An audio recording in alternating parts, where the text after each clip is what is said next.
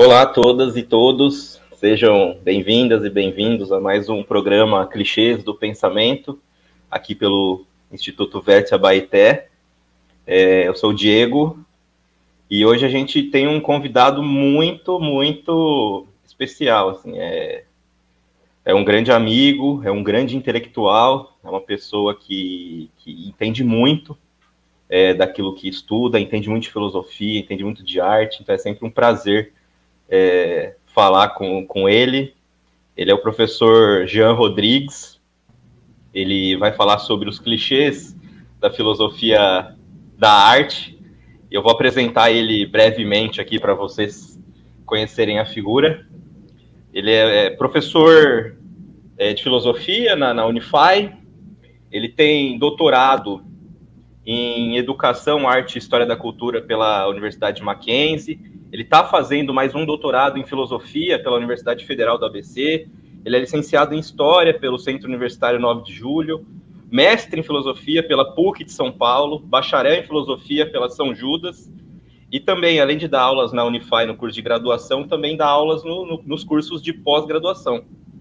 Então, meu grande amigo, um grande parceiro, professor Dr. Jean Rodrigues Siqueira, Seja bem-vindo, obrigado pela, pela, pelo aceite do convite. Obrigado você, Diego. A parte do grande amigo, eu aceito tranquilamente. O resto é do grande intelectual, aí a gente já fica mais reticente, né? Mas com certeza, grande amigo, é, é mútuo essa visão, tá? Uh, agradecer, Diego, pelo convite que você me fez, agradecer aí o pessoal do Instituto Velta Baité, a Camila, o Cris, né, que estão aí no, no suporte conduzindo os trabalhos do Instituto. E, claro, agradecer quem eventualmente esteja vendo a gente nesse momento. E vamos lá, vamos conversar sobre esses clichês aí na filosofia da arte. Vamos lá. Antes de apresentar os clichês, gente, eu quero né, sempre dar aqueles recados que eu sempre dou, né? Não se esqueçam de, de, Isso ajuda muito a gente, muito mesmo. Então não se esqueçam de curtir nossas páginas, principalmente no Facebook, no Instagram e aqui no YouTube. Curtam, curtam, compartilhem. Entrem no nosso site www.institutowa.art e deem uma passeada por lá, porque lá a gente tem muitos cursos é, que estão por vir, mas a gente já tem cursos que estão em andamento. Assim, a gente tem um curso sobre Foucault e a história da loucura, curso certificado, curso gravado, muito belamente editado pelo Cris, com as artes da, do Cris e da Ana. Então, curso de três horas, certificado sobre Foucault, já está lá gravadinho, com muito carinho. Foi produzido, então vocês podem assistir a qualquer hora, em qualquer lugar que vocês quiserem e puderem. A gente também tem um curso de língua e de cultura alemãs, é que a Camila que dá, que oferece. A Camila é uma das maiores conhecedoras de, de, de língua alemã que, que eu já tive o prazer de, de, de conhecer. Então, entrem no nosso site, lá tem o, um cadastro que vocês podem, caso se interessem pela língua alemã, pelo curso de língua alemã, mandem uma mensagem para a gente, a gente oferece todos os níveis, até o C2, o mais avançado, então, se precisarem, mandem mensagens para a gente. E sempre fiquem ligados em todos os cursos que a gente, no futuro, oferecerá, e nos eventos que a gente sempre oferecerá, né, principalmente quando o Covid, essa pandemia toda passar, a gente vai fazer muita coisa presencial também. Então fiquem ligados nas redes, não, não deixem passar nada que a gente produz, porque a gente produz com muito carinho, tá bom? Então não se esqueçam de, de, de visitar a gente nas páginas todas. Enfim, é momento jabá, chegando ao fim. Vamos começar então, né, sobre começar a conversar sobre os clichês da filosofia da arte. E eu queria perguntar para o Jean, antes de mais nada, né? A gente, a gente sabe quando a gente estuda filosofia, Jean, a gente sempre é apresentado as diversas áreas da filosofia, e há pelo menos dois nomes dessas áreas que a gente sempre ouve, mas às vezes não fica muito claro quais são as diferenças, ou se há diferença, na hora de abordar filosoficamente esse objeto que a gente chama de arte. Então a gente ouviu falar de filosofia da arte, mas também a gente ouviu falar de estética, Aparentemente, ambas estão é, lidando de alguma forma com este objeto, arte, né? é, dependendo da compreensão que a gente entende, né? Estética tem muitos, muitas acepções, né? Mas aparentemente o que o público comum já está acostumado a receber é que filosofia da arte e estética são disciplinas que lidam com a arte. Por que esses dois nomes? Qual a diferença, as semelhanças? Todo mundo aceita que existe, existe essa subdivisão ou é de algum grupo específico dentro da filosofia que faz uma delimitação?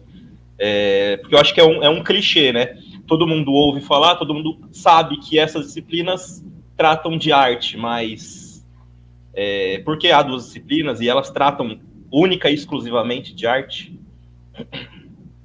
Muito legal, Diego. É, é, teve uma coisa que você é, colocou na, no programa que a Aline era convidada, a professora Aline, e eu acho importante trazer isso de novo, que é a ideia de que quando a gente fala de um clichê, né, de uma área, enfim, de algo, o clichê não é necessariamente uma ideia errada, ele pode ser só uma ideia confusa, né, uma ideia que, justamente por ser clichê, é repetida, mas não adequadamente compreendida.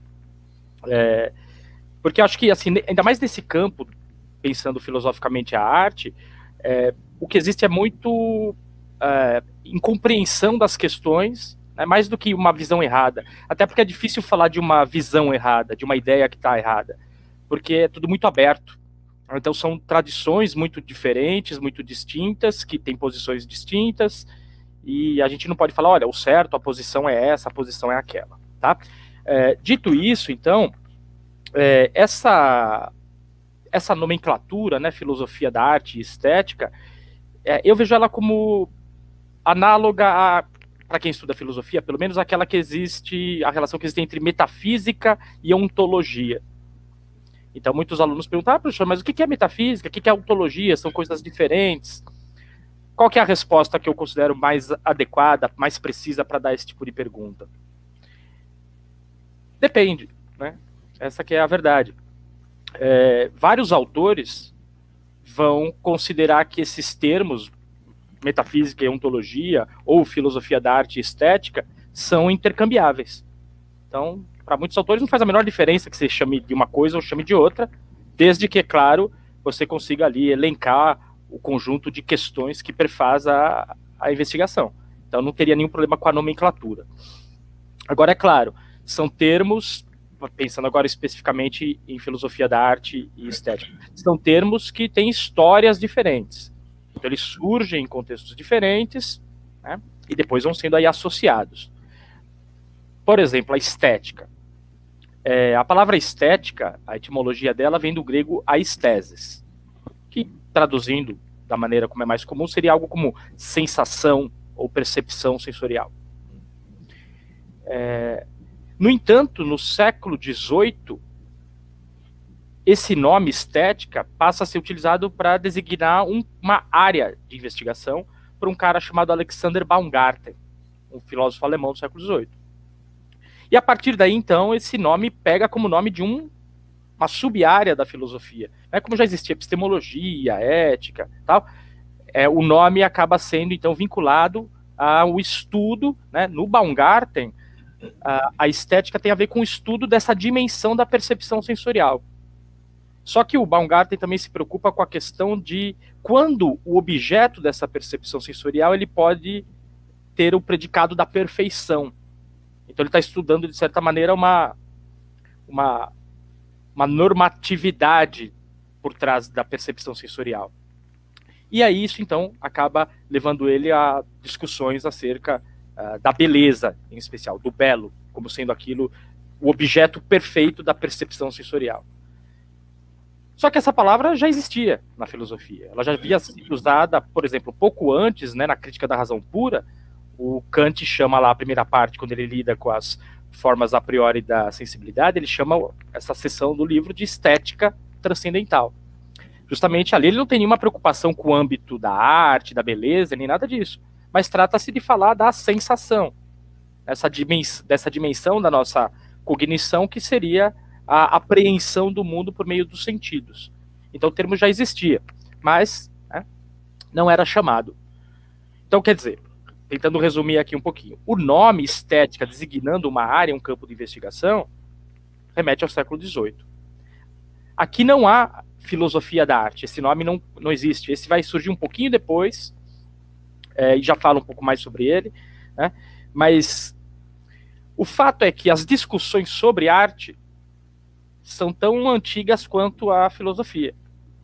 Então a gente vai encontrar em Platão, né, por exemplo, no livro 10 da República, no Banquete, é, no, no Ion, no Ípias, no Ípias maior, né, ou que é a discussão sobre o belo, acaba trazendo um pouco esse tema das produções humanas, a vinculação delas com a beleza, né, com a perfeição e outros é, predicados. Então a discussão existia já, só não tinha um nome. Por exemplo, no século 17 e 18, na, na Inglaterra, é muito comum ali as discussões acerca da chamada teoria do gosto, a respeito então de como julgar as obras de arte, né? separar o belo do sublime, né? por exemplo, como a gente conta no Burke. Então, todas essas discussões já existiam. Então, o nome acaba surgindo aí do Baumgarten, e no caso do Baumgarten, não se restringe à arte. Acho que essa vai ser a principal diferença. Né? Aquilo que é o objeto de estudo da estética é o objeto da percepção de um modo geral, quando tendo em vista a perfeição desse objeto. Então, essa estética contempla também a ideia de um belo que é o da natureza, que não é o belo das produções humanas. Então, nesse sentido, eu posso falar da beleza do, de um campo, né, da beleza da natureza, de um modo geral, do mar, das montanhas, dos animais, dos organismos. E aí, claro, quando o termo filosofia da arte começa a ser mais empregado, ele, de certa maneira, já está restringindo a discussão. Porque se é filosofia da arte, e aqui a palavra arte, né, que vem do latim ars, que é a tradução dada pelo Cícero do grego techne, ou techné, não sei como seria a pronúncia, né? ninguém sabe, afinal, é o grego lá do, do período clássico, quem sabe como pronunciava, né? mas enfim, é a tradução desse termo que justamente diz respeito às produções humanas, né? ou seja, feitas com intuito, com é, é, passos para a sua realização. Então a filosofia da arte acaba, de certa maneira, restringindo a sua discussão para esse tipo de produto humano que recebe o nome de arte. Claro que então nem todo produto humano vai estar tá sendo objeto dessa discussão. Então a filosofia da arte, ela de certa maneira se concentra especificamente nas coisas que tradicionalmente se chama de arte, deixando de fora as discussões sobre é, o belo natural e sobre os predicados que podem ser aplicados, predicados estéticos, como por exemplo o feio, o grotesco, o sublime, que podem ser aplicados a objetos, a coisas não produzidas, não criadas. Tá? Agora, o fato também é que, quando a gente abre um texto para ler, de estética ou de filosofia da arte, é, é muito comum que esses termos sejam usados quase como sinônimos. A gente pode fazer essa pontuação que foi feita aqui. Né? Vou discutir arte especificamente.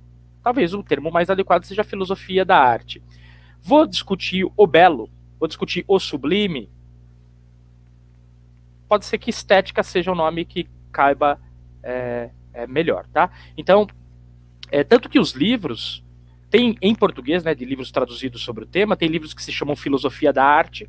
Por exemplo, tem um que é bastante conhecido, que é aquele do Virgil, do Virgil Aldrich, que é um, um livro mais antigo que saiu pela Zahara Editores, uma coleção muito boa, ali dos anos 70, que se chama Filosofia da Arte.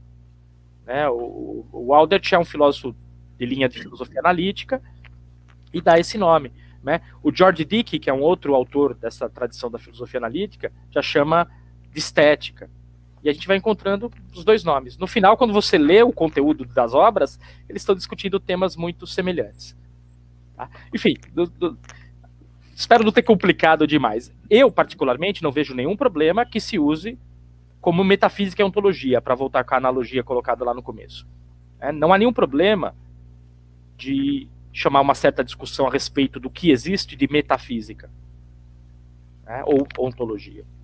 É, desde que haja uma clareza que o termo está sendo usado cobrindo aquilo que o outro, que poderia ser diferente, é, cobriria também. Acho que Perfeito. por aí. Baita definição. É, esclarece muito, eu acho. É, você, você usou uma palavrinha quando você estava se referindo ao Baumgarten, né? Nessa primeira, nessa relação da busca por, essa, por esses objetos que afetam, né? A, a percepção sensível. E você usou perfeição e você usou beleza depois. E já vou remeter a um dos clichês, né? Vamos, vamos, vamos entrar dentro da arte, basicamente, né? Do que a filosofia da arte faz, né? Que é investigar esses pressupostos básicos, né? Esses, radicalmente esses conceitos, né? Que subjaz a arte, né? Um, um desses é beleza. Aparentemente, né? Arte tem a ver com beleza. E aparentemente, é, e curiosamente, hoje eu estava tava lendo um texto eu não vou lembrar o nome do autor, ele é um professor de uma federal, chama Arte ou Desastre, a obra dele. Eu, vou, eu esqueci o nome dele. E, e, ele é um autor que tem uma influência conservadora na hora de, de pensar a arte. É, na linha também do, do Roger Scruton, também, que é um, é um teórico bem, bem importante que muita gente lê que estabelece que a arte, na verdade, é, é um tipo de produção humana que tenta resgatar certos valores que são perenes. Um desses valores, ou talvez o mais importante, o valor é o da beleza. Então, nesse sentido, a arte, ela só é arte quando ela representa ou expõe ou expressa isso que a gente chama de beleza. Que aí tem um problema, né? Tem que definir o que é beleza, mas que eu fico pensando, assim, só para dar um exemplo, tem, um, tem dois, dois autores, dois artistas que eu gosto muito. Um é o Roger Bacon é, e o outro é o Anselm Kiefer. E se você for ver as obras deles, né, você não vê beleza. Você vê algo da ordem do, do, do terrível, do grotesco, do assombroso. E pelo menos eu nunca vi ninguém dizendo que aquilo não é arte, nem os conservadores. É, então, assim, parece que definir a arte a partir dessa relação com a beleza é, é um chão meio comum, mas ela é meio confusa ainda, né? Porque a arte é só beleza, ou a beleza é essencial para definir um objeto como sendo artístico. Essa é complicada, Diego, assim, é, porque tem várias coisas envolvidas aí. É, é, claro que, por exemplo, pegando aí o gancho, inclusive o Roger Scruton tem um texto chamado Beleza. Né? Claro, ele é um autor conservador, então ele acredita na existência, quase na transcendência de certos valores, como o belo. Obviamente que isso está muito ligado a uma certa visão de mundo, está longe de ser unânime ou compartilhada por outros. Né? O problema dessas visões mais universalistas, principalmente quando acreditam que esses valores transcendem a experiência e, justamente prescrevem as regras de como né, as nossas produções devem ser, é, elas são limitadoras das atividades concretas que os humanos desenrolam ao longo da sua historicidade. Então, esse é o problema. É, a, Há um tipo de abordagem que eu considero bastante pertinente, que é o seguinte: pensar a arte é pensar aquilo que os humanos ao longo do tempo produzem e chamam de arte. Né? Porque se eu adotar de antemão uma certa noção de que, por exemplo, a arte deve ser bela e a beleza é isso, as produções estariam sempre restritas a esse modelo. Em algum momento da história, realmente, o que prevaleceu foi a ideia de associação entre arte e beleza, sendo a beleza aí o predicado estético fundamental, a ideia da perfeição, lá que está no próprio Baumgarten. E, em grande medida, se acreditava que o belo tinha a ver, então, com a sua capacidade de reproduzir fielmente aquilo que a própria percepção mostrava. E muitas vezes de maneira idealizada, inclusive. Então, quer dizer, o que seria uma bela pintura? Seria aquela pintura que apresenta traços realistas, né? que de certa maneira imita, copia a nossa percepção do mundo. quanto mais então ajustada a esse padrão, mais bela ela seria. Né? E aí, claro, também levando em consideração a ideia de objetos idealizados nesse caso. Né? Mas, por exemplo, nas artes plásticas, pensando na pintura a escultura aqui, principalmente, a gente teria que pensar né, que a, quando se fala de arte são vários gêneros, mas quando se fala de pintura e escultura, por muito tempo, o que prevaleceu foi essa ideia de que a boa, a bela pintura, a boa, a bela escultura, seria aquela que reproduziria com fidelidade e riqueza qualitativa aquilo que o olho vê. Tá? Então a gente né, pensar na, na pintura, na escultura que se produz pós-renascimento, ela acaba tendo essas características. Só que o problema é que o fazer artístico segue outros rumos. E prever ou prescrever para ele qualquer tipo de norma que ele deveria seguir seria justamente fechar essas possibilidades. Então, uh, a partir do século XIX, em especial, a ideia de que a arte, pensando aqui nas artes plásticas, né, estou colocando o acento sobre é, a pintura e a escultura, que as artes plásticas têm que explorar não um tema que elas reproduzem ou copiam, mas sim o meio que elas utilizam para copiar. Né? Então, quer dizer, vai desaparecendo do horizonte da pintura a ideia de que eu tenho que reproduzir no plano, né, ali na bidimensionalidade da tela, a tridimensionalidade do mundo perceptivo e que eu devo pensar que o que eu estou fazendo é lançando tinta sobre uma superfície bidimensional. Então é claro que os objetos deixam de ser apresentados tais como o olho nos mostra no mundo. E é claro que a partir daí a gente tem o surgimento né, de vários movimentos dentro da pintura, né? Talvez aqui para pegar um exemplo bastante conhecido do, do cubismo, por exemplo, né? onde quando a gente vê uma tela do Picasso, por exemplo, não há uma preocupação ó, né, de, de, ser fiel ao que o olho vê. Né? O mundo seria bem estranho se a gente visse aquelas mulheres que aparecem né, eh, nas obras do Picasso andando por aí. Tá?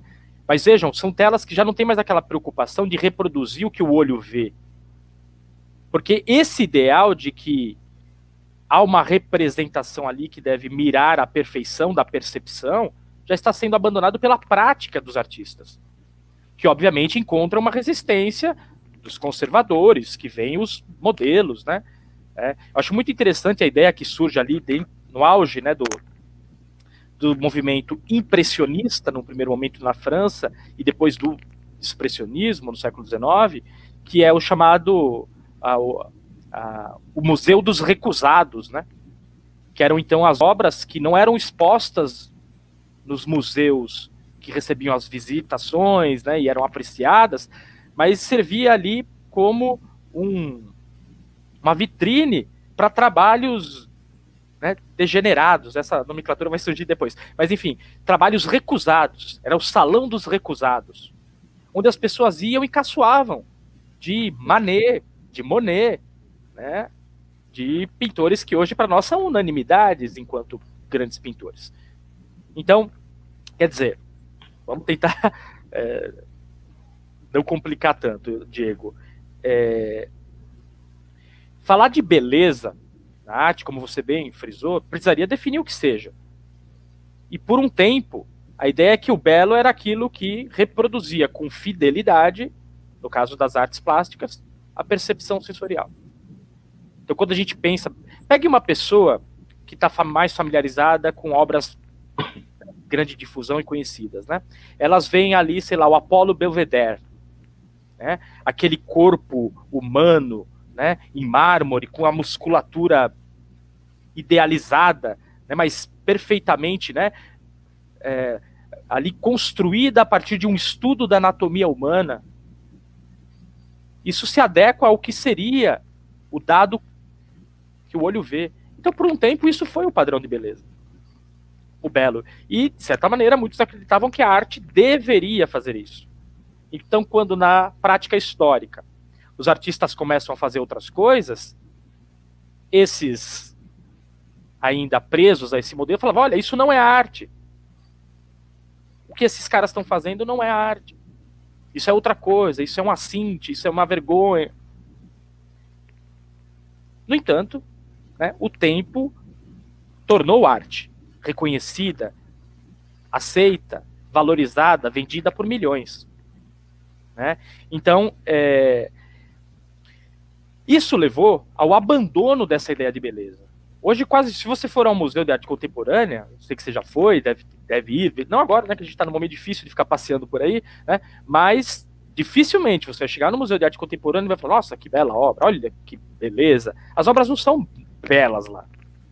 Elas têm outras características. Elas podem, por exemplo, estimular a nossa reflexão. Elas podem nos chocar. Elas podem ser grotescas. Elas podem apresentar propriedades muito diferentes daquelas que uma obra renascentista apresentava. Agora, o fato é que elas nos mobilizam, seja a nossa própria sensibilidade, seja a nossa reflexão. Né? Então, dá-se o nome de arte a essas coisas. Você vai lá e vê uma obra de um artista conceitual, como por exemplo Joseph Kossut. Ele tem uma obra Uma e Três Cadeiras. Essa obra é uma cadeira, uma cadeira de madeira, né? uma foto dessa mesma cadeira e uma definição de dicionário o que é cadeira.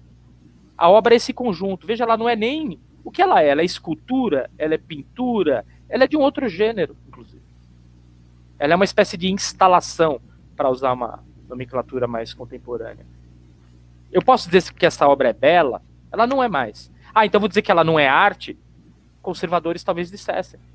Né? E quando a gente escuta o que eles têm a dizer, para eles a arte tem que atender um certo padrão. Mas enfim, sob o regime nazista também era assim. Né? Então é complicado. Tá? É, eu acho que uma outra questão, só para colocar rapidamente, Diego, é a gente pensar é, do ponto de vista da valoração, do valor que uma obra como essa do Joseph Kossut tem, valor enquanto objeto cultural, né? a sua importância enquanto um objeto produzido por um ser humano num momento da nossa história. E, sei lá, a Mona Lisa. Talvez a avaliação, julgar essas obras, o que elas têm de rico, o que elas não têm, né? essa discussão se coloca. Ela é importante, né? a gente pensar em padrões de julgamento, de apreciação estética. Mas dizer que ah, a Mona Lisa é arte e essa cadeira aí não é arte, é partir de um certo conceito já fechado que exclui outros objetos. E o fato é que eles estão nos museus e são chamados de arte por aqueles que os criam. Né? Perfeito. Inclusive, eu estava pensando, isso desde que você deu seu, a sua palestra sobre a fotografia, enfim, né? Que me deu muita coisa para pensar. E eu fiquei pensando, por exemplo, já que a gente está falando de, da, da, beleza e de certos padrões determinados, do quais, dos quais né, as obras de arte devem convergir para ser chamadas de belas e, portanto, de arte, eu fico pensando num livro do, do, do Gombrich, chama Arte e Ilusão, que, que ele coloca inclusive duas, duas imagens, duas pinturas, é, e foi uma experiência que fizeram, né? Foi um alguém que algum ocidental que pintou, não sei qual, qual país que foi, e um oriental que pintou, eu acho que foi na China. E era a mesma paisagem, era a mesma foto, era a mesma, era o mesmo em tese né, objeto, então ele objetivamente deveria ser representado da mesma forma. Mas foi muito curioso, porque são bem diferentes as duas pinturas. Foi pedido aos, aos, aos pintores que pintassem exatamente aquilo que estava presente, né? E pintaram, tinham semelhanças, mas tinham diferenças muito grandes. O que me leva a pensar, se há algum padrão definido de beleza, então beleza é isso, e é essa reprodução mais fiel do real, a partir de certas ideias de proporção, enfim, como é possível existir um padrão único se dependendo de certo contexto, de certa conjuntura, de certa subjetividade, esse real se apresenta de formas tão diferentes, né? Teria uma certa uma certa falta de apreciação, né? Uma falta de radicalidade no pensamento aí. Não sei se você concorda. Porque, de fato, todo mundo veria as mesmas coisas das mesmas formas. Eu acho que essa conclusão levaria a gente. Então, a arte não é possível, porque você não precisa dela para reproduzir exatamente aquilo que está. Todo mundo vai ver exatamente as mesmas coisas da mesma forma que elas se apresentam. Então, olhe para as coisas, né? Por que, que a arte existe, então seria necessária. Não sei se. Eu acho muito interessante, né? Concordo. Padrão belo é isso. Mas aí o chinês vê de outra forma a mesma coisa. Então tem outros conceitos de o que seria reproduzível, o que seria representável, o que seria belo. Então, mesmo universalizando esse conceito, parece que ele, ele, ele resiste, né? A uma universalização. Ele pode ser beleza circunstancial, epocal, historial, enfim, mas é, de, definir, vai ser essa mesma coisa em todos os lugares para todo mundo, em todas as épocas, que parece que é, né? Essa, há uma ideia perene, né, de, de beleza, parece que leva a uma contradição e leva a própria autodestruição da arte, né? Vamos dizer de arte, olha para as coisas, né? Uhum. Não, é, é, esse tipo de universalismo, é, de perenidade, de conceitos, claro, está associada a uma posição filosófica que é muito tradicional, né, que considera que existem esses universais. Né? Então, se a gente deslocar a discussão para a ética para um outro âmbito da discussão sobre o valor e pensar na ética, a gente vai encontrar uma posição também semelhante, né, de que existem os, o bem, o justo, Claro, são interlocuções importantes na filosofia. É, não está dizendo que é, essas posições são erradas. Como eu falei, é difícil ter alguma coisa aqui que a gente pode bater o martelo e dizer que é certa ou errada. Agora, o problema com essas visões universalistas, em especial no campo da arte, o campo da ética não é exatamente a área, então vou deixar de lado, mas o campo da arte é essa restrição, algo que me parece crucial quando se pensa em arte, que é a liberdade. Quando você tem que produzir a partir de certas delimitações, é, é, restrições de forma ou de conteúdo, que seja, você está realmente matando essa dimensão criativa. É claro que vão existir restrições que são impostas pela própria historicidade, como, por exemplo, o uso de materiais. Né, a materialidade vai ser uma restrição porque depende do que eu tenho de objetos, de materiais para construir. Né? Eu não posso, depois de ter assistido ou lido, né, eu assisti, no caso, o filme Duna, eu falar, ah, eu quero fazer uma obra com as especiarias lá do, do, do, do planeta desértico, que eu não me lembro o nome. Não dá, porque não existe. Então há uma limitação. Mas quando as limitações são assim do tempo, da história, elas não estão restringindo a imaginação, a capacidade criativa, a capacidade de compor a partir daquilo que se tem. Agora, quando eu tenho algum tipo de diretriz criativa, né, a gente pode pensar na arte nazista, no socialismo uh, soviético, né, no, no, no chamado uh, sob o regime stalinista, por exemplo, onde também claramente existia ali toda uma diretriz de produção que minava esse elemento de esse elemento imaginativo e criador. Então, me parece que qualquer visão da arte que aposte na existência desse tipo de padrão, ela realmente está dando as costas para um atributo da arte que me parece é, essencial. É, eu não gosto muito, para não me comprometer que não de uma forma essencialista, mas que me parece muito importante, que é a, a liberdade, a criação. A arte tem a ver com isso, fundamentalmente. Isso eu creio, né? Que a arte tem fundamentalmente a ver com liberdade criativa, né? De transitar pelo âmbito do possível, do que pode ser, mas não é. é isso está lá em Aristóteles.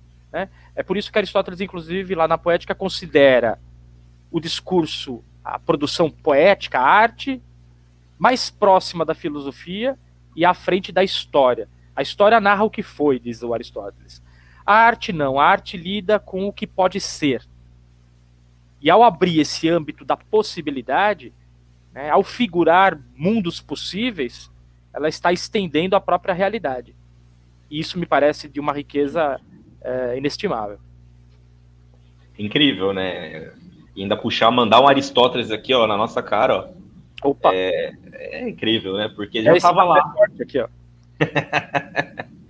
eu, eu, eu consigo puxar aqui mais alguns clichês. Eu vou colocar dois em um, porque Beleza. eu acho que eles têm, eles lidam. Porque falando sobre essas questões, principalmente quando a gente lida com a chamada arte contemporânea, que parece que é a mais rejeitada de todas. E aqui quando eu falo as coisas que o pessoal, inclusive o pessoal que está aí, é, mandem perguntas, podem interagir com a gente, que a gente vai, vai dedicar um tempo para refletir sobre o que vocês estão perguntando também. É, queria mandar um abraço aqui pro Ale e pra G. Então aí, falei que ia mandar um abraço para eles, Ale e G, ó. Amigos queridos, abraço Ale, abraço Geni. E, enfim, parece que. E, e, não é questão de que a gente tem que gostar de tudo, né? Não é. Existe. A gente pode ser crítico, inclusive, a, a artes que sejam é, progressistas, enfim, a gente às vezes pode achar que é de mau gosto, que não, né? Não bateu naquilo que deveria bater, enfim, inclusive conservadores batem em obras de arte que são conservadoras, progressistas batem em obras que são progressistas, progressistas fruem obras que são conservadoras e vice-versa, né? Não, não há nenhum tipo de, de eu acho que de, de, de, determinação de que um certo grupo não possa fruir ou criticar a arte produzida ideologicamente direcionada para o seu próprio grupo, né? Ou para o outro. Mas há um discurso que estabelece que a arte feita no passado, né, seja esse um passado ocidental é, grego, romano, ou um passado é, medieval, renascentista, enfim, existem passados, né? Mas parece que o problema é a arte contemporânea, aquilo que a gente faz século XX em diante, que abriu um, um leque muito, muito legal para a criação, né? A arte não é só um objeto que é criado, ou uma pintura, ou uma música, ou uma escultura, enfim, a arte pode ser uma atitude é uma, a gente tem é, as instalações, né? A gente tem é, as performances, né? Marina Abramovic já me fez chorar muito, por exemplo. Aquela performance que ela só fica sentada e vê as pessoas e ficam olhando, eu me arrepio todo, assim. Como que isso é, não pode ser considerado esteticamente né, aprazível, né? Ou reflexionante, enfim, ou terrível, enfim, depende do afeto que produz. Mas parece que a arte do passado é um clichê, né? Que a arte do passado, segundo dizem, era muito melhor que essa feita na nossa época. Porque a nossa época, ou na nossa época, qualquer coisa é arte. Qualquer coisa, desde, sei lá, um cocô num potinho até uma arte ultra realista, tudo é arte, então tudo depende da, de quem define né, singularmente o que é arte. Ah, isso para mim é arte, para você não é, enfim, né? Uhum. Parece que isso, isso é qualitativamente negativo, porque qualquer coisa é, e antigamente não era qualquer coisa que era, né? Uhum. Tá. É, bom, de novo, tem a ver com a historicidade das coisas. Os critérios de avaliação, eles próprios mudam. Então, como eu falei, o que, que é, era considerado uma bela arte, uma arte adequada, que né, realizava a, sua, a sua função, né, o seu papel enquanto arte no século XVIII, primeira metade do XIX, era essa que era fiel à percepção sensorial, por exemplo. Né, de novo, quero enfatizar isso, que a gente está falando sempre principalmente de artes plásticas, porque ao falar, por exemplo, de música, literatura, a gente teria que ter alguns cuidadinhos diferentes ainda, né? Mas enfim, pensando nessas que é, geralmente são aquelas que estão no meio das discussões, né? A escultura, a, a pintura. Então, os critérios mudam, porque o fazer artístico muda. Então, não posso adotar um critério do passado para julgar uma arte do presente. É, isso seria é, inadequado porque os próprios critérios mudaram. É, então, é claro, existem virtudes que a gente vai encontrar numa pintura renascentista, sei lá, numa tela de um, de um Caravaggio, de um, enfim, de algum grande nome aí da, da arte renascentista ou pós-renascentista, né, a gente vai encontrar essas é, é, valorações positivas porque elas atendem a uma série de ideais costumeiros ali. Aí eu vejo hoje uma obra que sequer é uma imitação de algo, como é que eu avalio? É, com base nesse critério. Porque se eu adotar esse critério, eu vou dizer, ah, isso sequer é arte. Então precisa levar em consideração que os próprios critérios, na medida em que o fazer artístico muda, os critérios de avaliação mudam. Tá? E aí a gente tem que ser honesto com as obras e pensá-las dentro daquilo que elas realizam no seu momento histórico, quais virtudes elas apresentam. Senão a gente está né, pulando temporalidades de maneira é, é, arbitrária. É, realmente hoje eu não acho que qualquer coisa é arte. Por exemplo, essa minha tacinha não é, mas poderia ser. E é isso. Eu acho que o contemporâneo trouxe um pouco essa ideia de é, romper a barreira, principalmente a barreira do suporte, do suporte material, né, do, do, de gêneros artísticos estarem presos, então, a uma certa forma.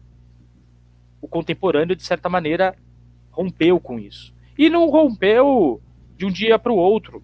Foi processual. Né? Quando a gente tem lá em 1917 o Duchamp inscrevendo né, a fonte, que era uma peça uh, industrial que ele comprou, assinou um pseudônimo e apresentou uh, ela numa disposição que não era como ela era utilizada como urinol, como obra de arte, foi rejeitado. Porque, claro, para os critérios ali da exibição, onde ele planejava expor o objeto, isso não é uma escultura. Hum? Hoje, quando você vai ao Museu de Arte Contemporânea, você tem um monte de ready-mades. Agora, é claro, o problema é, né, e é isso a gente tem que pensar, é que hoje você apresentar um ready-made, nossa, eu vou vou revolucionar a arte e vou levar essa minha taça lá para o museu. Não. É, porque agora, dada a historicidade, este objeto agora pode não ser mais interessante. É, ele tem que, de alguma maneira, dialogar melhor com essa tradição que já existe.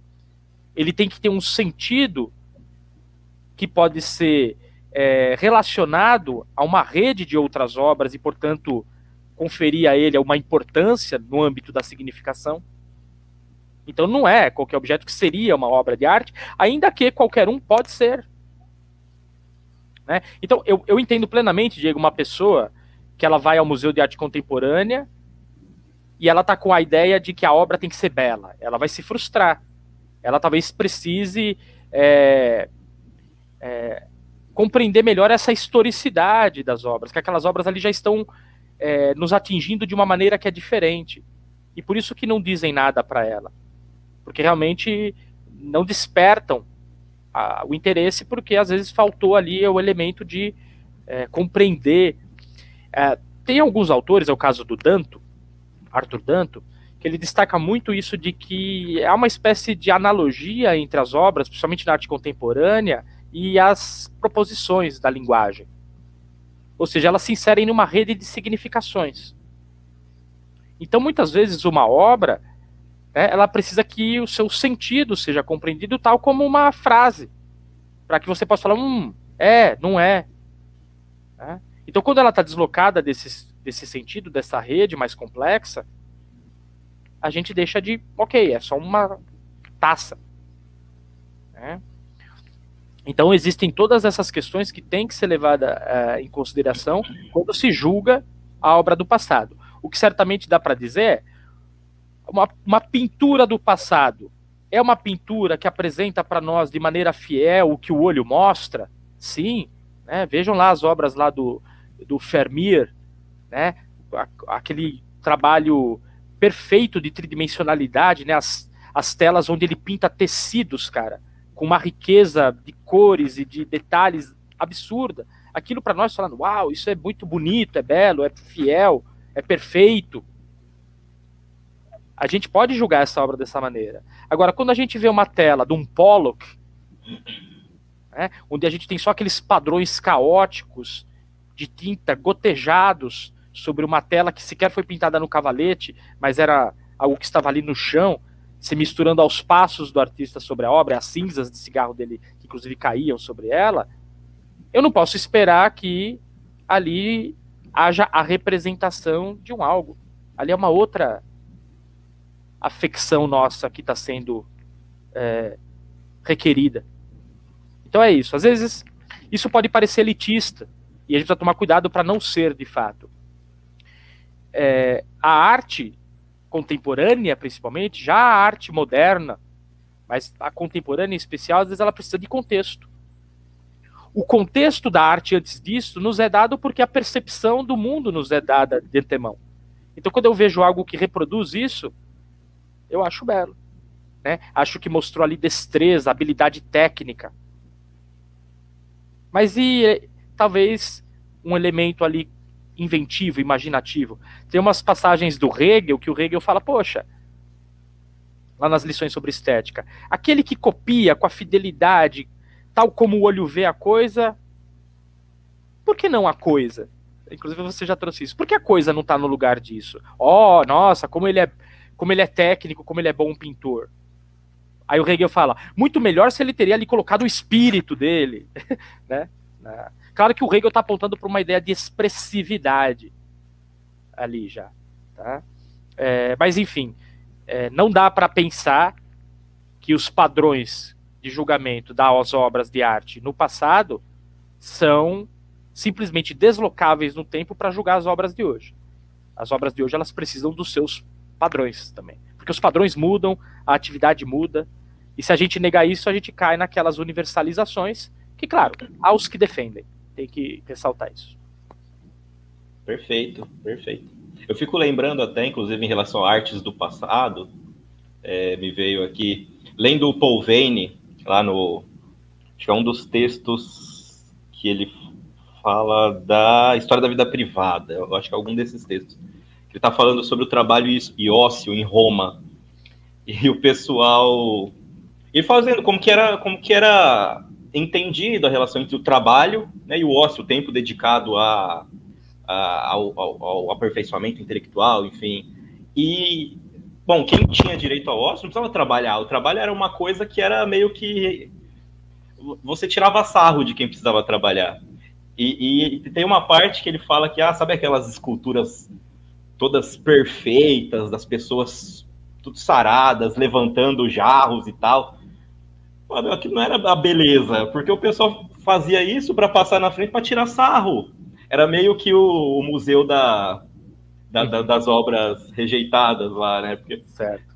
É, porque parece que, que, que, que fica, fica claro para muitas pessoas de que, ah, porque era perfeitinho, é a única coisa que produzia era uma sensação de beleza, porque aquele é um ser humano per perfeito, com as veias no braço.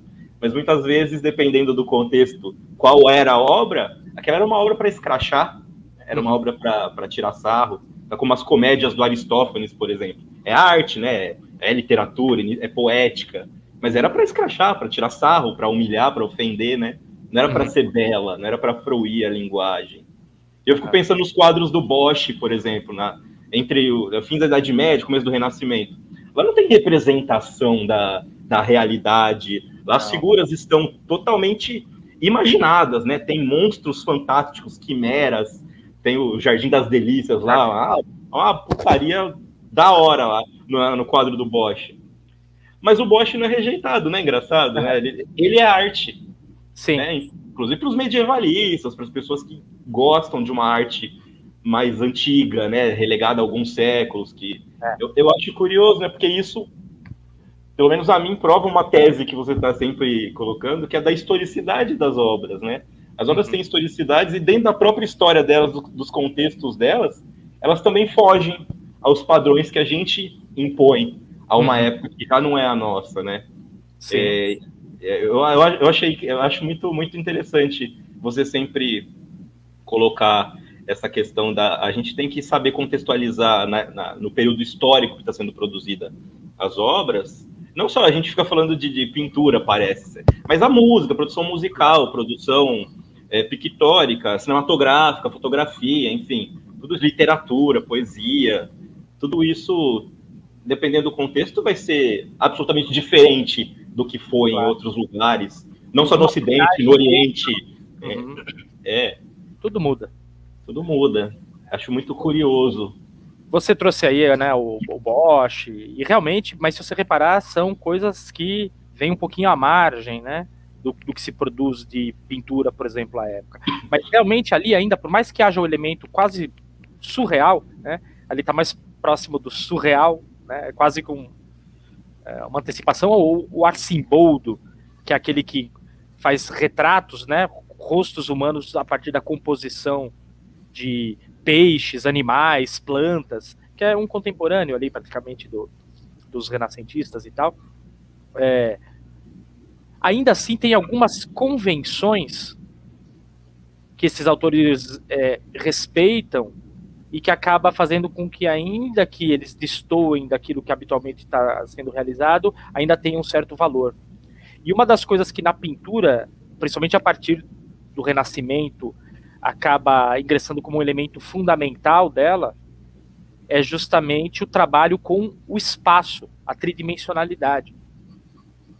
A partir do momento ali que tem a ideia da, da, do ponto de fuga e da possibilidade de construir o espaço euclidiano, portanto tridimensional, na tela bidimensional, ou seja, produzir essa ilusão, né, todo mundo tem que colocar as suas figuras na tela dentro desse espaço tridimensional. E quando você começa a encontrar as contestações da espacialidade dessas obras, mais até do que o que você está colocando ali como conteúdo, você pode colocar ali uma criatura que não existe. Né, como, por exemplo, ali as criaturas que aparecem no, no, no Jardim das Delícias. Mas a convenção é de que o espaço em que ela vai estar representada seja realista. Isso é uma exigência. Né? Por isso, quando o, o Manet, né, o Eduardo, o Eduardo Manet, é, ele é por muitos considerado aí o iniciador da arte moderna, porque justamente ele começa a construir seus, suas representações violando todas as convenções volumétricas. As suas obras não estão mais situadas num espaço tridimensional. E isso é muito afrontoso. Ainda que, claro, você pegue uma obra dele, sei lá, o menino tocando pífaro, é, o almoço na relva, a própria Olímpia, né? São pinturas que a gente vê a pintura, a gente reconhece ali os elementos. Oh, é uma pessoa assim, a pessoa tá assim, tá de outro lado, não sei o quê. Você reconhece que ali os elementos representados são reais, mas o que deixa de ser real ali é o espaço. Porque se aquelas figuras estão num espaço real, elas têm que ter volume. As sombras têm que é, trazer para nós a informação sobre esse volume e esse espaço. E o Manet já está trabalhando muito com a ideia de planaridade da tela. E é isso que, do ponto de vista da convenção, é considerado pelos seus contemporâneos mais conservadores como um absurdo. Né? Ele não está respeitando uma coisa tão óbvia quanto a ideia de que o espaço tem que ser o espaço da percepção. Né? O espaço na tela tem que ser aquele que imita o espaço da vida real. Quando ele coloca coisas planas numa tela plana, ó, um absurdo. então... Muito bom. Eu fico lembrando do. É porque a gente foi falando de arte, a arte aqui que a gente está falando majoritariamente é, claro, acaba caindo na arte ocidental, né? Sim. Mas eu fico lembrando do, das, das artes egípcias, por exemplo que, que, que, representam é, aparentemente em duas dimensões toda a realidade, né, todas as ações dos humanos, dos, das divindades, enfim, mas usa um recurso muito interessante, porque elas são em alto relevo, então dá uma intenção de, de profundidade, o que é uma outra forma de uma outra época, em um outra, uma outra região, é, de representar a realidade, inclusive realidades outras metafísicas, é, que são também consideradas artísticas, mas que, se fossem ser enquadradas dentro de certos padrões do Ocidente, talvez não seriam reconhecidas como arte. Né? Uhum. Porque os padrões deles são: a arte é assim, que é, existem regras, inclusive, né? Eles têm os cânones artísticos dos egípcios, então as artes são produzidas a partir desses cânones. Então fica muito, muito, muito claro, né, essa relação, mais uma vez, né? Essa pluralidade ou essa impossibilidade de uma univocidade do conceito de, de beleza ou de características que definem o que é a arte, porque a gente tem experiências de vida plurais em diferentes épocas, diferentes regiões, uhum. né, em diferentes contextos, né? Eu fico pensando na música, assim, a, gente é do rock and roll, né? E a música, que muita gente diz que o tipo de música que a gente ouve não é arte, que a arte é só aquela arte clássica, extremamente tec, é, música clássica extremamente técnica, produzida no Ocidente, que tem uma notação extremamente rigorosa, que segue determinados encadeamentos.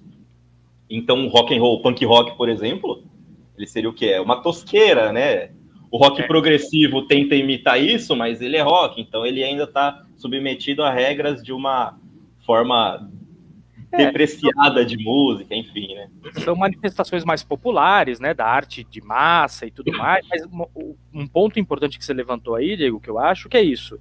Toda essa discussão que a gente está aqui fazendo, realmente, se a gente se, se deslocasse para pensar arte na Índia, arte na China, arte na África, aí realmente seria tudo muito diferente. Né? Os próprios padrões de julgamento, de representação, de convenções de representação já seriam muito diferentes. Esse é um outro problema, né? Quando está se discutindo arte no Ocidente, isso parece que a arte é o que foi feito na Europa. E realmente é um problema, como é um problema em várias outras discussões. Né? É, quando você ia aos museus, é, a arte de outros lugares estava ali na seção de antropologia, né? não propriamente na seção de artes. Então, a, acho que é uma percepção hoje melhor de que realmente a coisa é mais é, plural e, portanto, é mais difícil ainda pensar em, em dos e universalidades quando você está lidando com outras culturas. Né?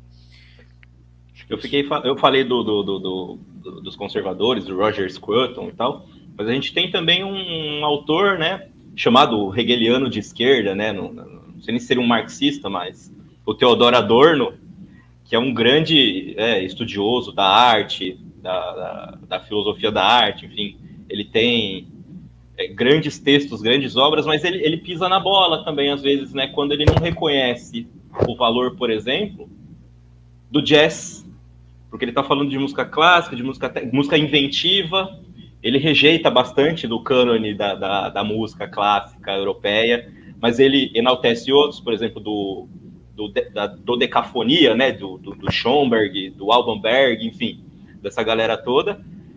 Mas ele coloca também, e parece que é fruto de uma certa incompreensão, né, do, do, do contexto, daquilo que significa, né, para a comunidade negra norte-americana, aquela profusão de, de, de, de, de, criar, de inventividade dentro da, da música, que vai dar margem para o rock and roll também, né?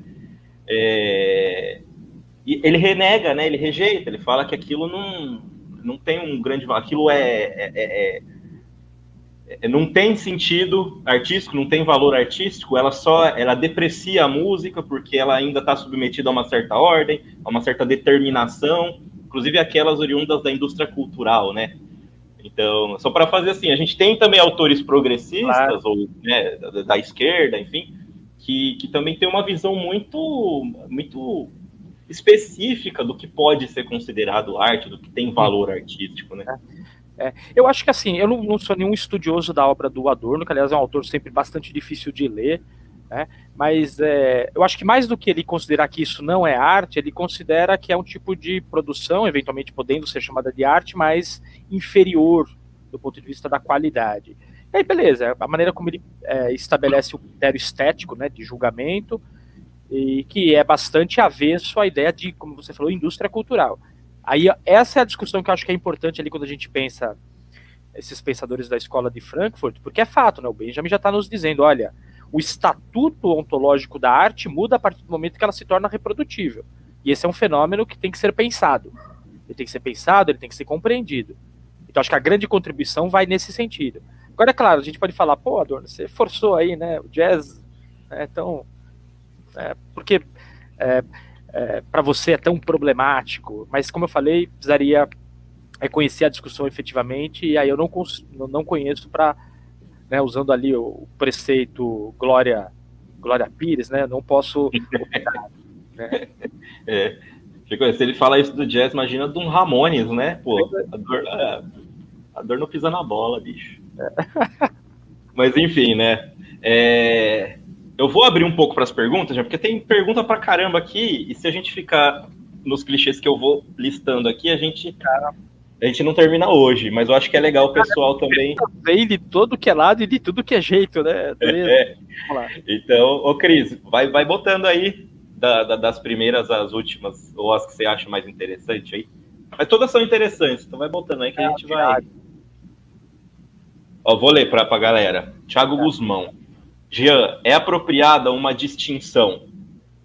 E agora tem um Ctrl L e D aqui na frente e eu não consigo ler a pergunta. Peraí.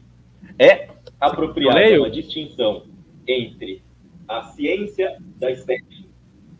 Tá, tá, tá aparecendo para você esse Ctrl L D? Não, é porque entre a ciência é, do estético e a estética. É, agora saiu de novo. Começar do começo, hein, gente? Só para ficar nervoso agora. É apropriado uma distinção entre a ciência do estético e a estética, filosofia do belo, sublime, ou seriam ambos clichês? Bom, Tiago, primeiro prazer, querido, você estar tá aqui ouvindo, uma honra, né? e receber sua pergunta também. É, então, é, o, o, Hegel, por exemplo, quando está ali trabalhando com as suas lições sobre estética, ele próprio define a, a estética como uma ciência. Ela é a ciência do belo.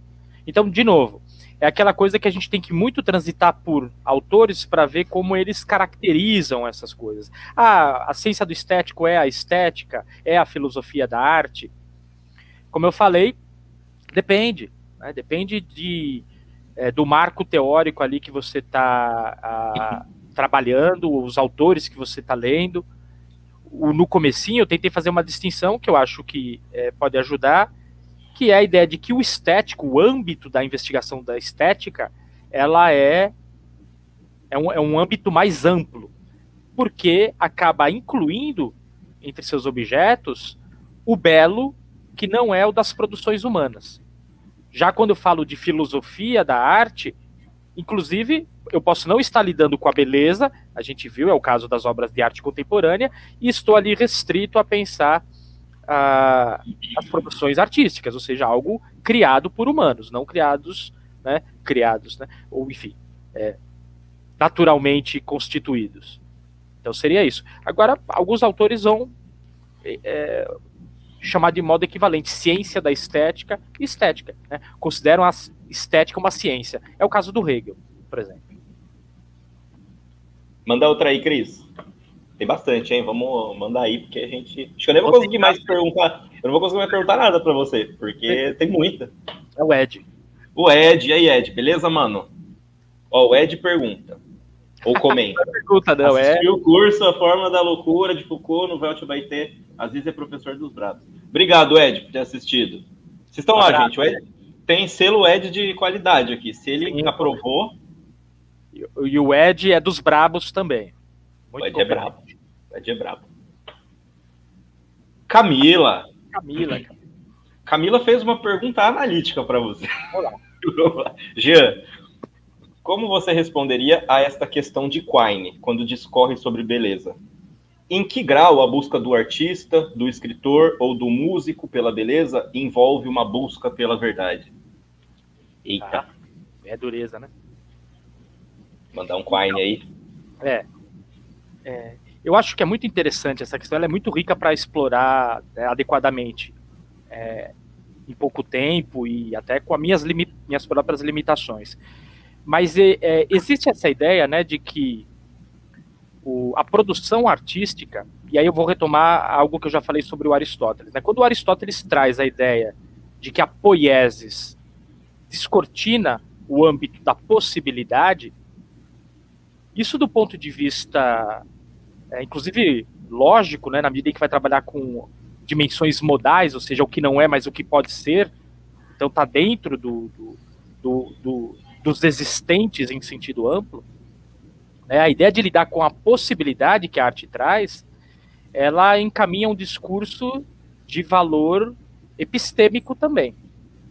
Tá? Eu não sei se propriamente é, a gente poderia chamar isso de busca pela verdade, é, mas na medida em que as produções artísticas criam mundos e esses mundos têm é, legitimidade, legalidade, ou seja, eles se constituem a partir de uma é, de uma norma que os tornam reais, verossímeis, possíveis, é, isso do ponto de vista do conhecimento me parece muito rico. Então, nesse grau, eu acho que o artista, quando está lá imaginando mundos possíveis, é, ele está ampliando o horizonte dos existentes, que pode ser investigado. Né? Não à toa, no caso, por exemplo, da. É, não à toa que a psicanálise, por exemplo, é, se debruçou tanto sobre obras literárias, obras artísticas e o cinema, porque ali você tem casos né, de psiquismos extremamente complexos e ricos para serem pensados, e não são de pessoas reais que frequentaram os divãs. São a Madame Bovary, né, são este ou aquele personagem. É, o fato deles não terem existido na realidade não os torna menos ricos de investigação e exploração, podendo ampliar a dimensão do conhecimento e talvez aí é, é, ganharmos na, em nossa busca pela verdade. É, então, acho que o que os artistas realizam nesse sentido, partindo dessa ideia aristotélica, é, é, é, é bastante rico epistemicamente. É uma via para ser explorada enquanto conhecimento, não meramente enquanto é, entretenimento, mobilização dos nossos afetos, nada disso. Acho que a arte tem uma dimensão cognitiva. Isso eu, eu diria é, pessoalmente, né, eu afirmaria isso. Tá, cara? Desculpa, né, mas é uma questão muito mais ampla que dá para né, explorar de maneira muito mais pertinente do que o que eu fiz aqui em meia dúzia de palavras. Tá ótimo. É, manda mais uma aí, Cris. Da Aline. Oi, Aline. Abração para Aline. A pergunta do século XXI. Se e como podemos, devemos separar o autor da obra, ou, em outras palavras, o agente moral da produção estética? Hum. Essas perguntas difíceis são complicadas. Aline, primeira coisa, beijão imenso para você. Foi um prazer uh, assistir a sua entrevista aqui com o nosso querido Diego na, na outra edição do, dos clichês. Então, essa discussão é...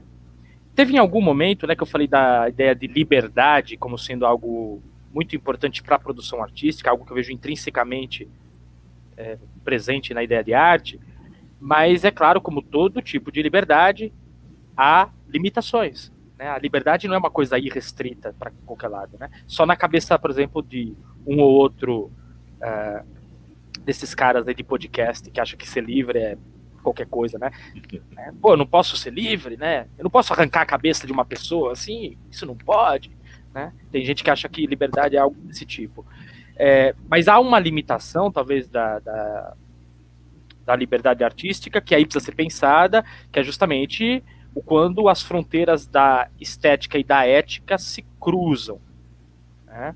Então, por exemplo, é, é possível produzir uma obra de arte que, por exemplo, é possível é, mas é é a valor, a riqueza deve ser permitido a produção de uma obra de arte que viole a vida, por exemplo, de alguém, um outro, mesmo que essa pessoa tenha consentido, ou de um animal, né?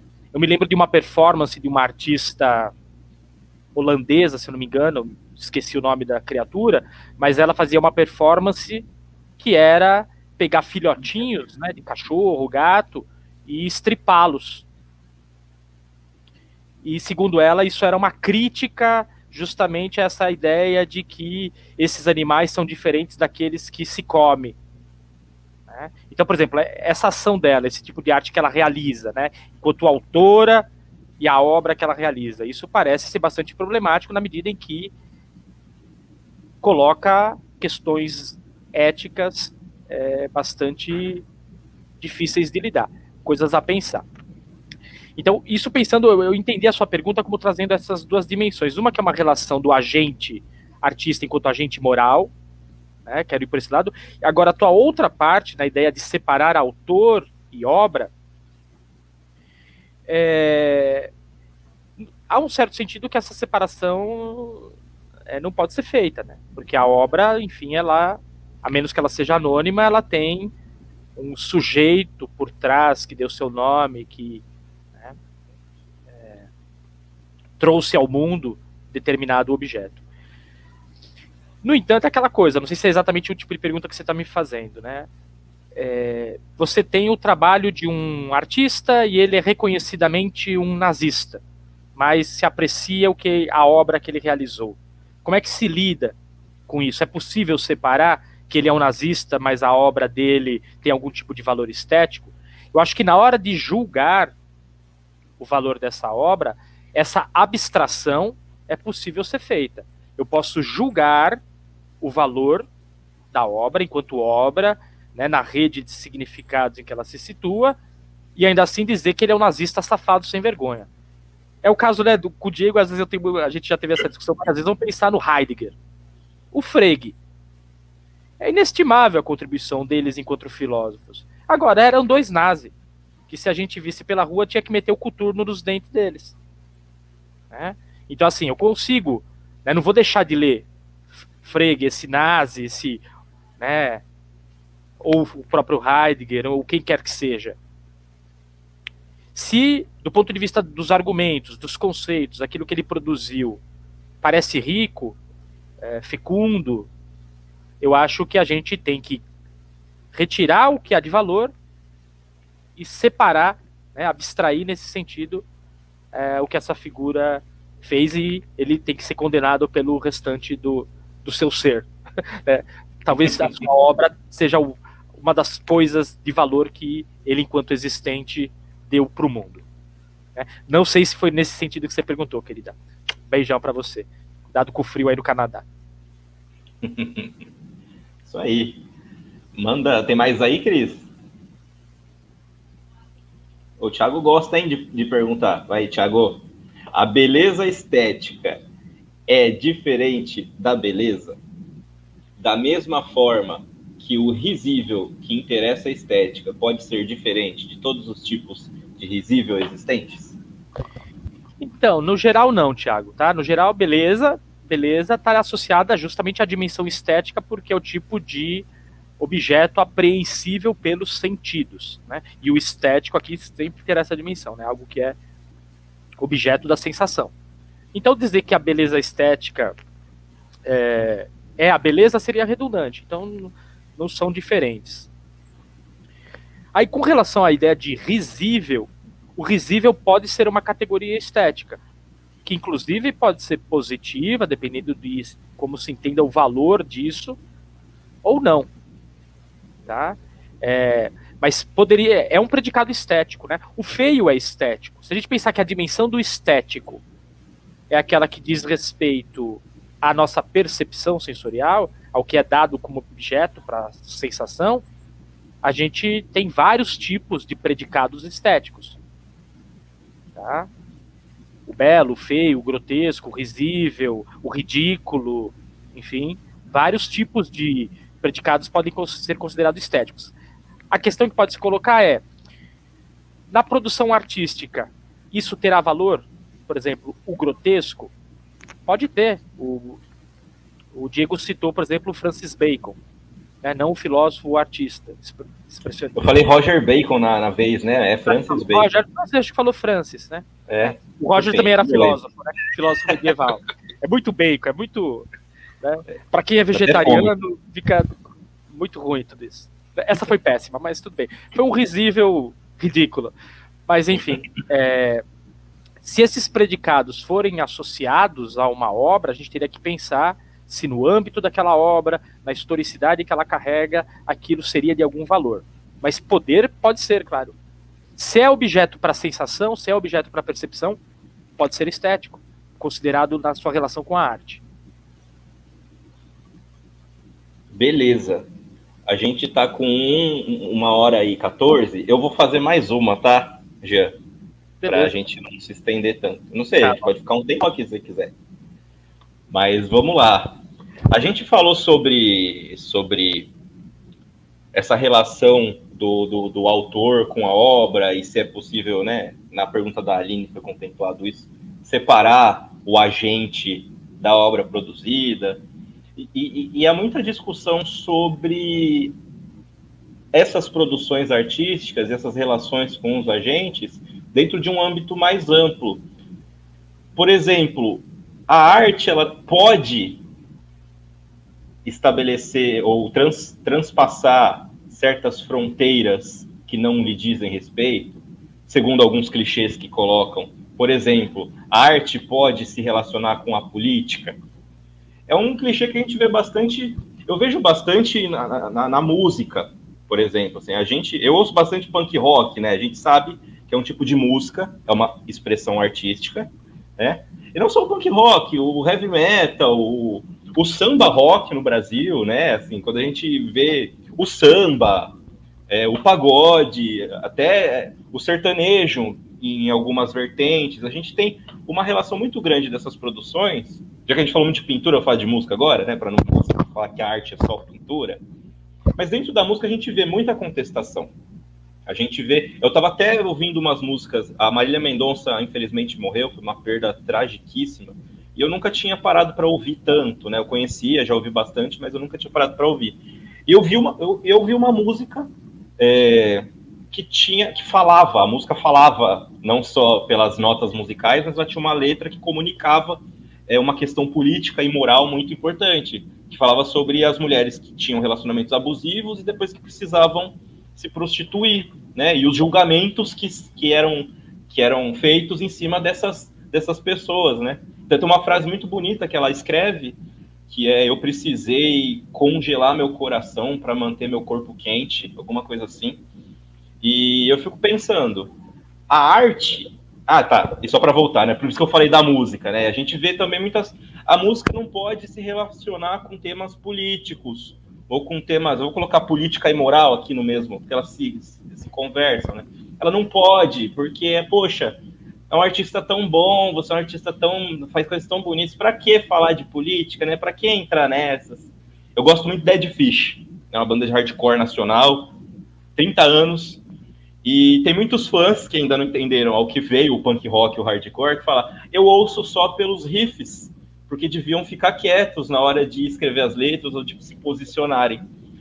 O que parece que esse artista, esse agente, deve produzir uma obra que é neutra, ou seja, ela não pode expressar nenhum tipo de subjetividade ao qual essa subjetividade está submetida dentro de um contexto, ela não pode expressar uma, vis uma visão dessa subjetividade nesta obra produzida, e não só não deve, mas eu acho que tem uma proibição maior, que ela não pode transpor esses, porque uma vez transposto, ah, deixou de ser arte, virou discurso, de fala, virou outra coisa, sabe? Então não gosto mais.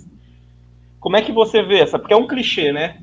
A gente vê isso na literatura. As pessoas leem livros e quando descobrem nos discursos, das entrevistas das, lá, das escritoras, dos escritores, não, eu estava fazendo uma crítica a isso, aí não gosta mais, desgosta da obra, porque não sabia que aquela obra falava sobre aquilo.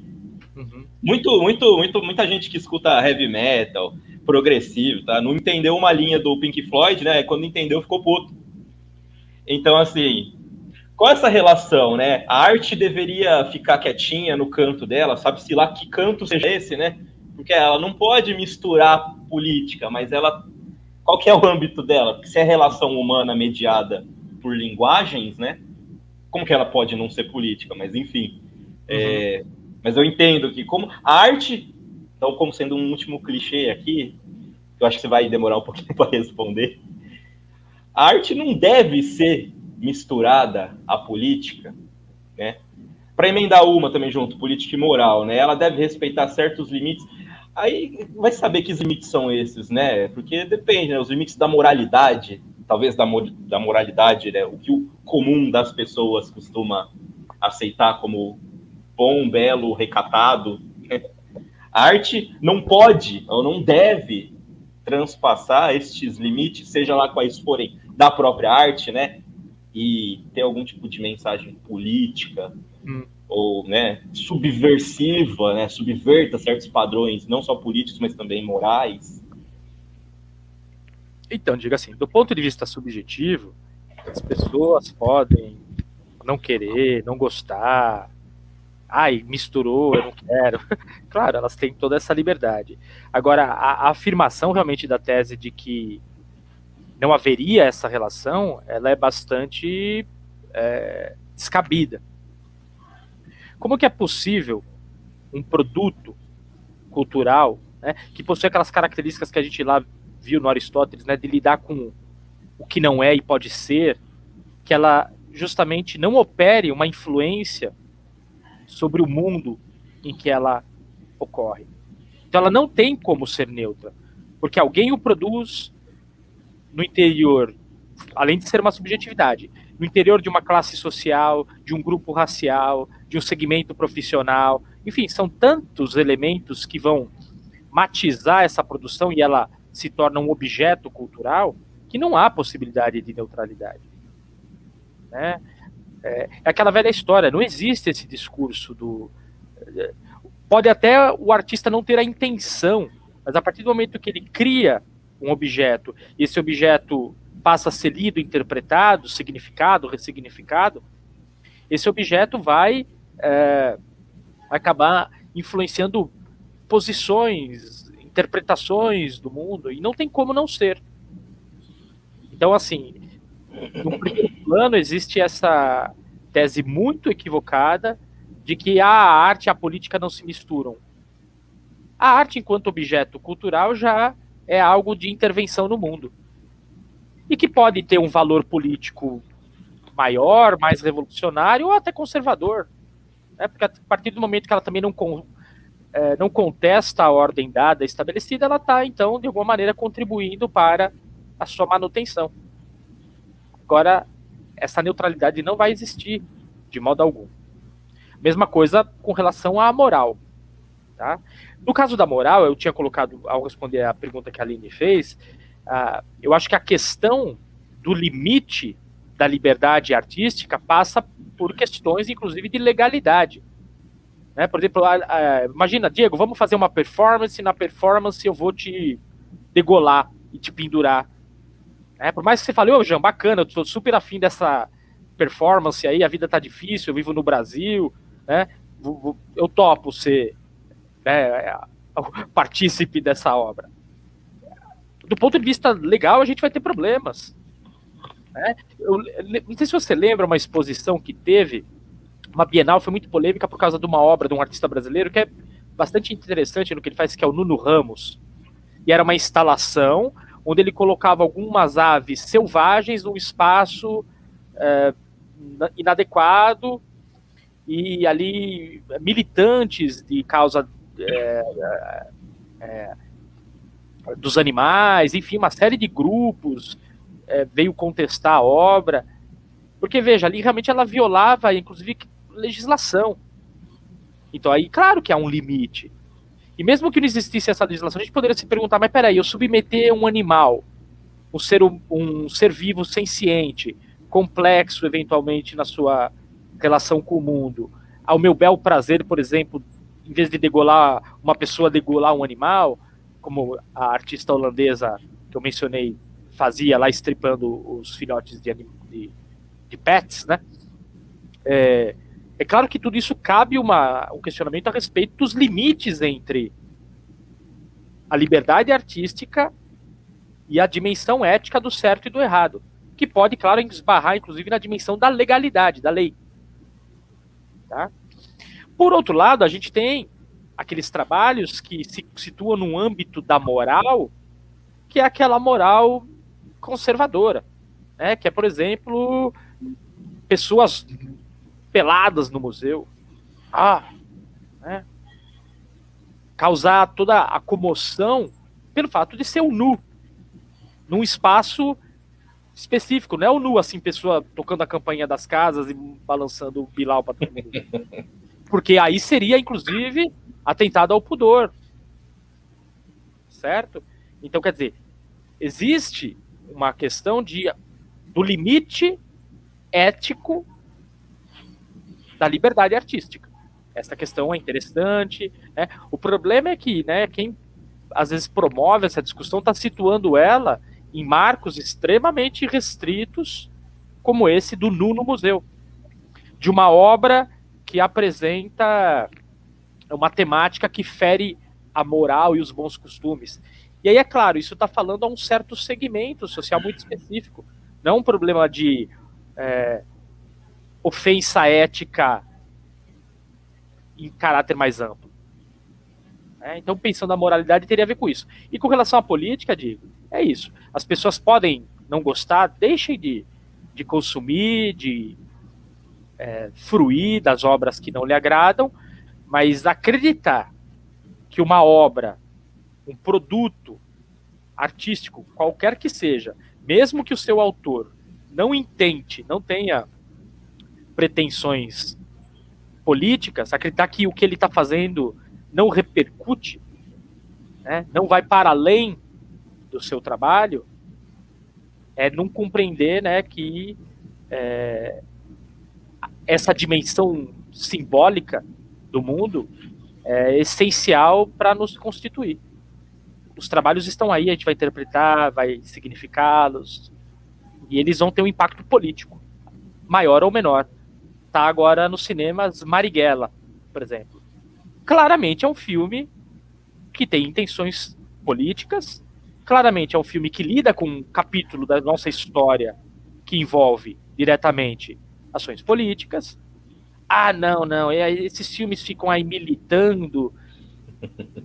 Meu amigo, não vá. Né? Fique em casa fazendo outra coisa. Né? Assistiu o filme do Edir Macedo, né? Que também Isso. é político. Claro que, é. que é. Outro lado. É. Quando você escuta. Nem vou, nem vou entrar nessas questões, tá? para não ficar bravo. Tá? Mas, claro, então, por isso, todas essas ações, na medida em que elas são externadas, se transformam em discurso, podem ser significadas, apreendidas, difundidas, elas já entraram na esfera simbólica, que é justamente o material sobre o qual se constrói a política. Então não tem como dizer que não é política. Todo é política. Essa nossa live é política. Perfeito. Bom, gente, uma hora e meia. É, geralmente a gente fica até uma hora e meia, né, de transmissão, porque pessoas cansam, né? A gente não cansa, a gente ficaria é. três horas. Eu precisaria pegar uma outra garrafa eventualmente, mas aí depois. Precisa, de um, precisa de um refil, né? Refil, refil. Mas beleza. É, bom, foi. A gente poderia ficar falando, como a gente sempre fica, né, nos nossos encontros, horas e horas sobre muitas questões que vão aparecendo.